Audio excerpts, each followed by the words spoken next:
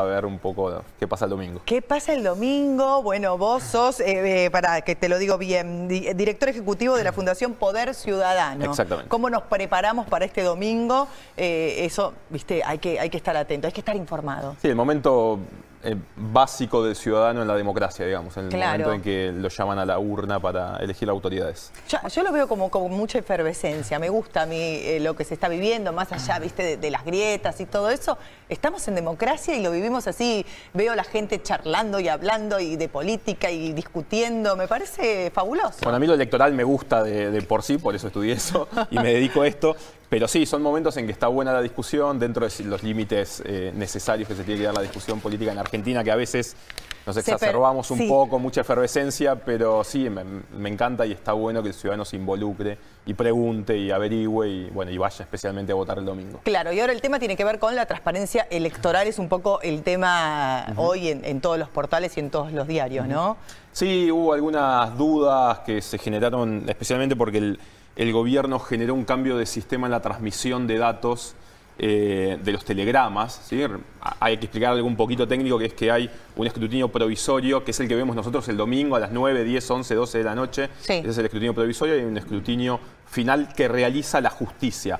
Ese es el válido, ese es el que cuenta, ese es el que nos elige autoridades o quienes pasan a la, a la elección general, pero hay un escrutinio provisorio que cambió en algunos aspectos la forma de transmitir. Ahora los resultados se van a transmitir desde las escuelas. Cada mesa de las mesas de las escuelas desde un, desde un sistema se transmiten al centro de cómputos eso fue lo que cambió y que generó algunas dudas sobre el software y es lo que la justicia le pide al gobierno que presente ante los partidos políticos. Bueno, a la, hora de enfrentarnos al cuarto oscuro, repasemos esto que ya es información ciudadana, que gracias a Dios estos años de democracia nos han instruido, pero ¿qué opciones tenemos? Podemos votar teniendo en cuenta las boletas que hay, pero también podemos anular un voto o podemos votar en blanco. ¿Cuáles son las diferencias entre un voto y el otro? Bueno, el voto válidamente emitido eh, que puede ser afirmativo o negativo, ¿sí? ahí, te entra el voto en blanco. El voto válido es poner una boleta eh, para cada sección de la, de la boleta, ¿sí? votar gobernador, votar em, presidente, votar diputados, senadores, en los casos que los, que los haya. Em, ese es un voto válido afirmativo, eh, siempre sin que haya dos boletas diferentes para la misma categoría. Si hay una categoría de partido A y partido B a senador, bueno, eso, ese voto va a ser anulado efectivamente. O se puede votar eh, válidamente, pero en forma negativa, que sería no poner nada dentro del sobre o poner un papel en blanco, que ese es el famoso voto en blanco que, se cuenta y que vemos en las estadísticas finales.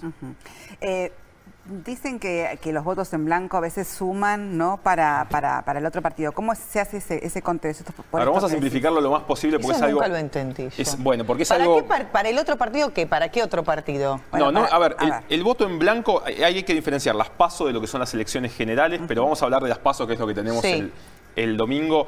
Eh, el voto en blanco cuenta en cuanto que no votaste a ninguno de los demás. ¿sí? Y lo que te ayuda es, como hay que pasar un determinado porcentaje, ¿sí? lo que ayuda, si vos no votás eh, en blanco, es a que esos porcentajes sean más fáciles de alcanzar. Perdón, si votás en blanco, esos porcentajes son más fáciles de alcanzar porque hay más votos. Es un tema bastante complicado, es un tema de porcentajes en particular.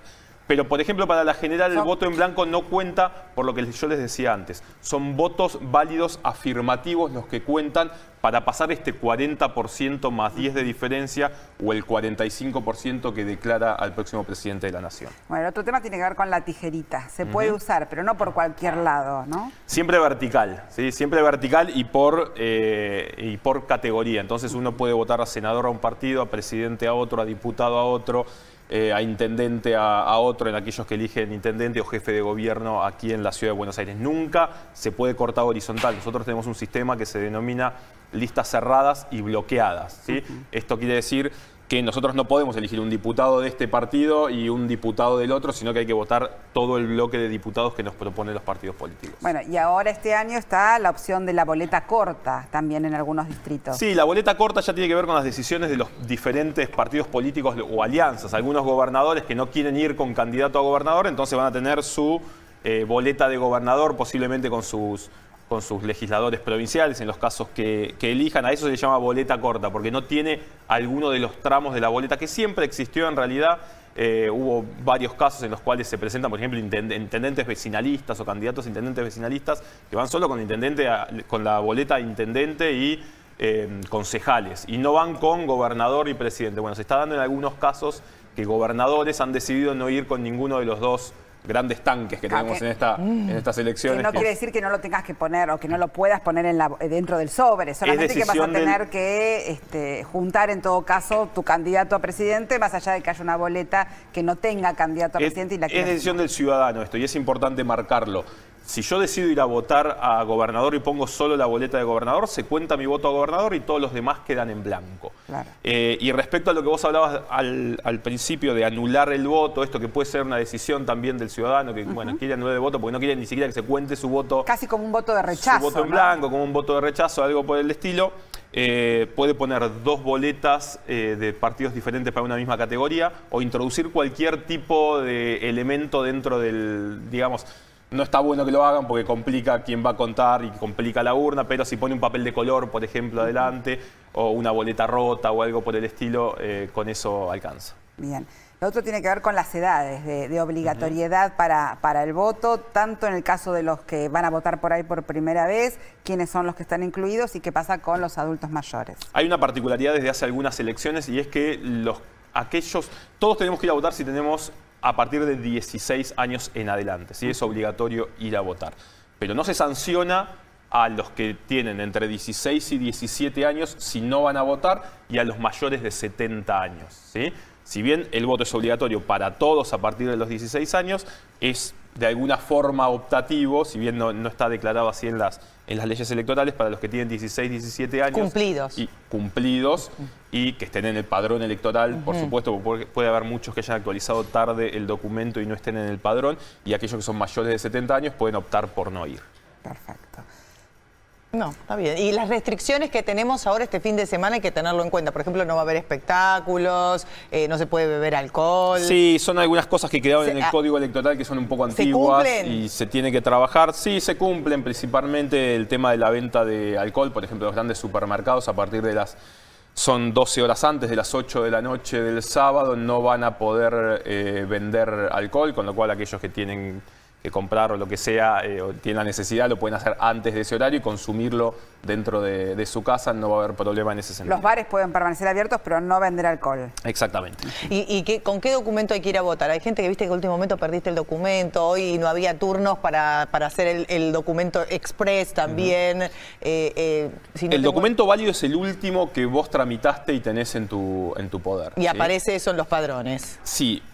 A ver, es el que aparece en el padrón o uno posterior. Si en el padrón aparece duplicado y vos tenés un triplicado, ah. podés ir a votar con ese triplicado. Ah. Lo que no podés ir a votar es si aparece duplicado y vos tenés el original. Ah. ¿Y podés ir con ¿Eh? el papelito si estás en trámite? No, no, vos, tenés, que ir con el vos tenés que ir con el documento. Si tenés algún problema en particular, el día de la elección te tenés que acercar a la comisaría más cercana o a la Secretaría Electoral de tu distrito y decir por qué es que no tenés el documento, por qué es que no podés votar. ¿Y las sanciones se realizan pues, si no vas a votar? Bueno, las sanciones son bajas, verdaderamente, eh, y se supone que la Cámara Electoral y la Justicia Electoral tendría que llevarlas adelante. La verdad claro, si vos estás a más de 500 kilómetros... Estás a más de 500 kilómetros, tenés que ir a la, comisaría a hacer la denuncia para que te den un, un papel que vos después vas a tener que presentar en la Secretaría Electoral de tu distrito para explicar por qué no fuiste a votar. O sea, vamos, hacemos la denuncia primero y después hay que llevar ese papel. Sí, yo creo que ya eh, llevar el papel, no sé si sigue funcionando, me parece que lo puedes hacer incluso por internet. A mí me ha pasado de estar de viaje y mandar, el, eh, por ejemplo, fotocopia del pasaporte sellado de que no estuve en el país el día de la elección y con eso alcanzó para no ser sancionado. Ahora, si ahora no votamos por alguna circunstancia que podamos justificar, ¿en octubre podemos? Sí, siempre tenés el derecho a votar y nadie te puede quitar el derecho a votar. Em, con lo cual, si vos no podés ir a votar ahora, incluso si no podés ir a votar a la general, a la segunda vuelta, en caso de que haya, podés ir a votar sin ningún problema y nadie te lo puede impedir. La gente que está en otros países puede votar en estas pasos también. Eh, también es, eh, tiene la posibilidad de hacerlo en las embajadas. Se, abrió alguna forma, pero hay un registro específico para, votar. También se abrió una forma de, voto eh, mediante, mediante correo. Eh, pero no es que si hoy decido que puedo ir a votar, el domingo voy a la embajada y voto y ya está, no, no es tan simple. hay un procedimiento previo. Bueno, te estamos exprimiendo a No full, ¿eh? no hay problema. Autoridades de mesa, te llegó el telegrama, tenés que presentarte. Tenés que presentarte. No hay ninguna excusa. Si no podés por alguna razón, ¿qué haces? Depende de la razón que, que quiera presentar. El otro día nos llamaba alguien y nos preguntaba, soy médico y tengo guardia ese día. Lo lamentamos mucho, el hospital se tendrá que encargar de suplantar a ese, a ese médico. Eh, y, y no hay forma de no ir. En caso de enfermedad, bueno, ya habrá que presentar los certificados correspondientes también en la Secretaría Electoral y explicar y justificar por qué no se fue a hacer autoridades. Claro, viste que te dicen que no vayas primero a votar porque si a lo mejor el presidente o alguna de las autoridades de mesa no fue, Mira, si te no vamos- enganchan para que te quedes todo el día. Pero igual es una Mira, experiencia, Si no, vamos primeros a votar, alguien va a ir primero a votar, con lo cual eh, es, es lo mismo. Alguien va a llegar, si no es a las 8, se llegará a las 8 y media, pero alguien va a llegar y va a ser autoridad de mesa. Es una experiencia, es un deber cívico nuestro. Si queremos que la democracia esté fortalecida, si queremos transparencia, si exigimos a las autoridades, si nos llaman una vez cada dos años a cumplir este rol, Claro. no queda otra que hacerlo porque es el principal garante de la transparencia del proceso electoral. Claro, hay y es verdad que si no, si no cumplís con eso, cuando salís este, de- del país y tenés que cruzar una frontera, te pueden demorar. Podés llegar a tener problemas si vos no justificás por qué no fuiste a votar, sí.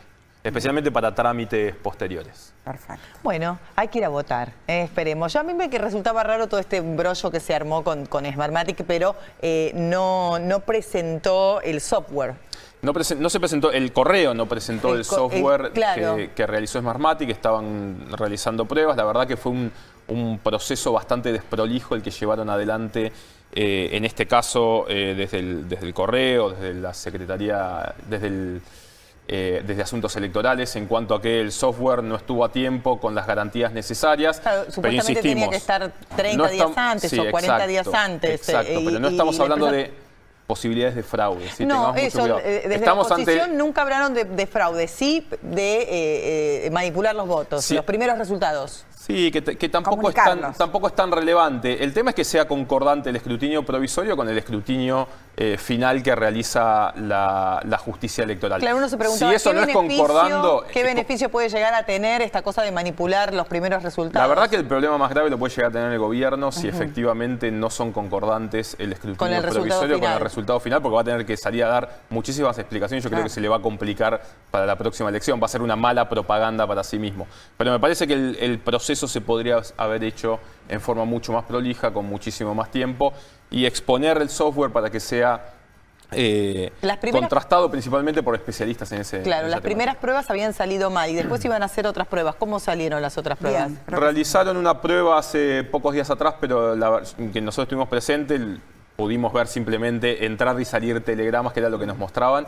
Eh, realmente no sabemos No cómo, sabe. cómo salió eso. Los que tienen la garantía y los que dicen que salió bien fueron del gobierno. Hay muchas dudas respecto a eso, verdaderamente. Claro. Bueno, muchas gracias. Eh, gracias. No, Eh. Pablo, súper clara tu Bueno, me explicación. alegro, me alegro. Hay que ir a votar entonces el domingo, que es una fiesta de la democracia.